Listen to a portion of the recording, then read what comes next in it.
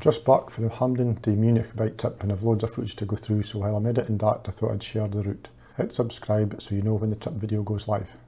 Starting on May the 22nd, I caught the train from Aberdeen down to Glasgow after finishing work and heading to Hampden for the first stop. 1,440 kilometres in 16 days so my visit 40 clubs. After Hampden I popped in past Rutherglen, Glencairn, Cambuslang Rangers, Blantyre Victoria, Hamilton Accies New Douglas Park, also home to the homeless Clyde.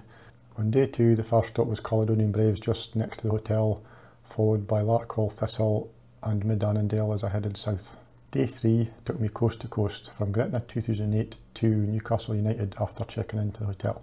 Day four's first stop was at Gateshead, followed by Sunderland, Hartlepool United and then finally at Middlesbrough. Day five started at Redcar Town, then Marske United FC, Whitby Town and finally Scarborough Athletic to end the day. The sixth day only had two stops, Bridlington Town and Hull City.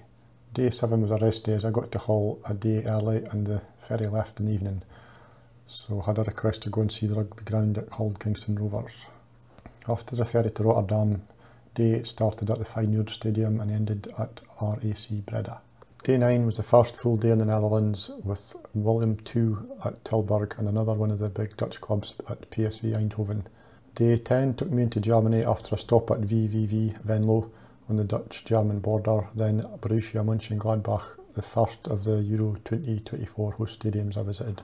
My first full day in Germany was day 11 and the first of the grounds where Scotland will be playing at FC Cologne for their second group match against Switzerland. Then on to the old West German capital of Bonn, home to Bonner SC.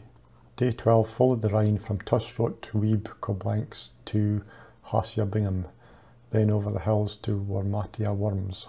Back to following the Rhine on day 13 to SV Waldhof Mannheim and FC Bruchsal. Day 14 was a bit of a day off after breaking some spokes on day 13 so a 30k bike up to the bike shop in Stuttgart to get it fixed, followed by a 13k hike to the VfB Stuttgart Stadium where Scotland play their third group game. Spokes fixed and day 15 only had one stop at Göppinger SV. The 16th and final day started with three Augsburg teams. First was TSV Schwaben Augsburg, then FC Augsburg, another Bundesliga team, followed by Turkspor Augsburg.